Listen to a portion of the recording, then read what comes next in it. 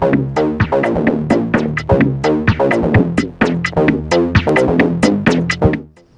morning everyone. It is 7:17 a.m.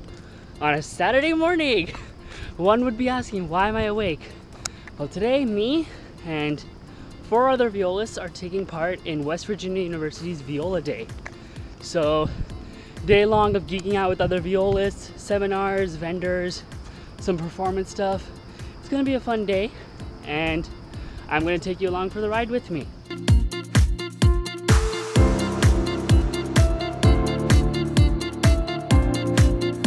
in West Virginia now, making quick breakfast stop with my viola peeps.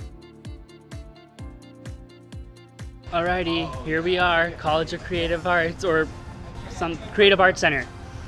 Uh, last time I was here was for my audition. And they have left me.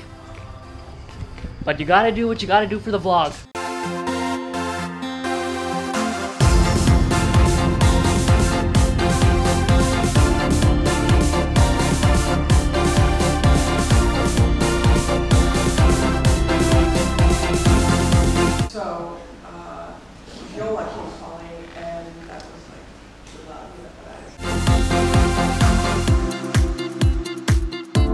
So we finished the first event, or the second event actually, because the viola, yoga was the first one.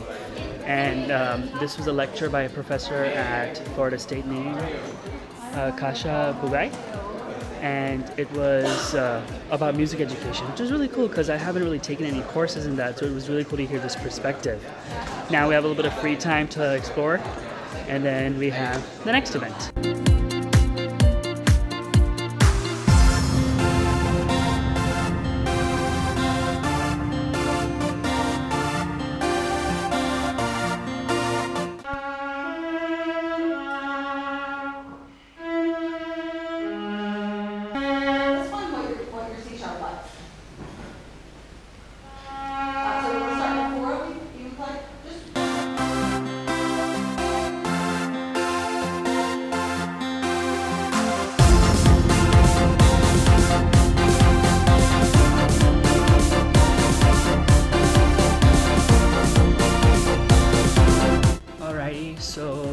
Andrea Houde's masterclass is done. Stephen played really well, and as well as the other people. I guess they were a little bit more like the learner, intermediate, and of course then you have graduate student. So now we have uh, lunch, and then viola ensemble, and a few more things this afternoon, and then viola day is done.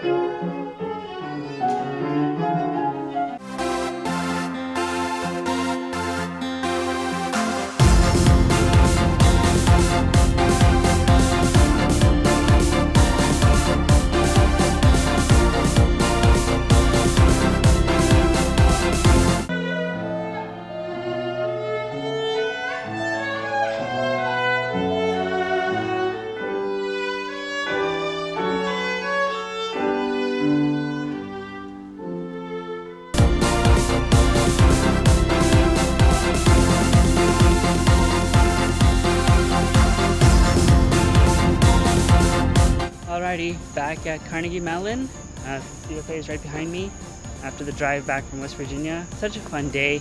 Long day, I'm quite sleepy. But um, yeah, Viola Day was a lot of fun. My first time doing it. Hopefully I can go again. Uh, special thank you to Professor Andrea Houde at West Virginia University for putting everything together. It was a great day. And yeah, another little musical adventure in this new journey. As always, if you like this video, please give me a thumbs up, subscribe to my YouTube channel, and stay tuned for more adventures. Thank you so much. Bye.